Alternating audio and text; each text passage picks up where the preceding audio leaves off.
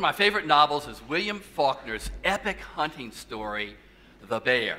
And like the young Isaac McCaslin, uh, who is the protagonist in the novel, I too grew up learning to hunt in the South.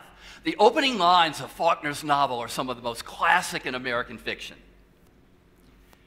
There was a man and a dog, too, this time. Two beasts, counting old Ben the bear, and two men, counting Boon Hogganbeck, in whom ran some of the same blood that ran in Sam Fathers and the Chickasaw, although uh, a plebeian strain of it.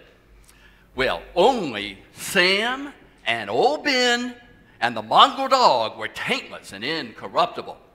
Now, Isaac McCaslin was 16 years old, and for six years now, he had been a man's hunter. I too was a man's hunter.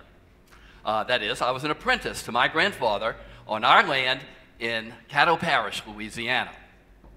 And I can remember many times walking across our great pasture and growing up on that land.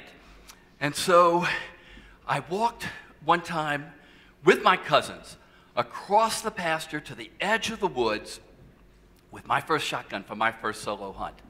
Here's how Faulkner describes Ike McCaslin's first solo hunt.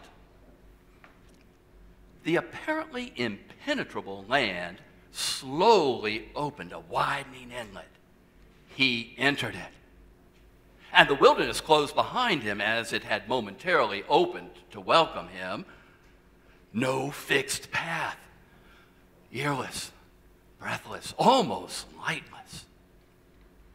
I remember those feelings. Well, Old Ben is a symbol for the vanishing wilderness in the South. And Ike not only learns hunting lore, but he learns the history of his land. He learns about misogyny and rape and slavery and theft from the Chickasaw. And he determines that the only way that he can break the curse is to relinquish his land. And so his wilderness is sold to a logging company for clear cutting. I remember my dad taking me deep into our woods. The words still reverberate today. Patrick, this is the last virgin stand of old growth trees in Caddo Parish.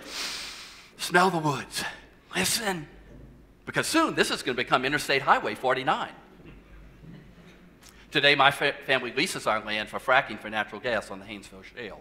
And Old Ben, the end of the novel, Old Ben is killed in an epic battle, a hand to hand combat with Boon and the mongrel dog. Now, what does all this brief introduction to a novel, to literature, have to do with my field of study?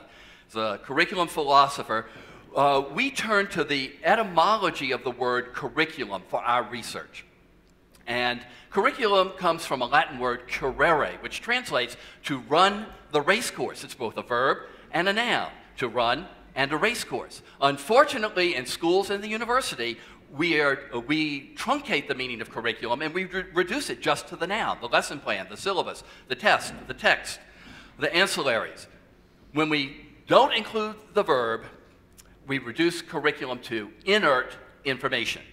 Now, the philosopher Alfred North Whitehead said as much in his 1929 book, The Aims of Education. Whitehead wrote that there's three steps of curriculum development romance, precision, and generalization. And of course, generalization and mastery, that's our goal. However, he said, without romance, meaning a passionate connection to the subject matter, connecting my story in Louisiana with Isaac McCaslin in the novel, without that connection, the curriculum is just inert information. So for curriculum philosophers like myself, we turn especially to the existentialists, Kierkegaard, Sartre, Camus, de Beauvoir, who taught us that it is primarily through literature and the arts that we can most understand this running the race course of life. And how do we do this, this currere? I think it's going to be more familiar to you once I give an example. Currere has a four-step process. Our first step is called the regressive moment. We go back into the novel, we go back into history. We dwell there, but we do not categorize names, dates, and places, as unfortunately in too many history classes we do. We have to connect the subject matter to the present, to our life and our life experiences, and project to the future. The integration of past, present, and future is what we call our fourth step, the synthetical moment. This is the aha moment of Pythagoras discovering the 345 right triangle.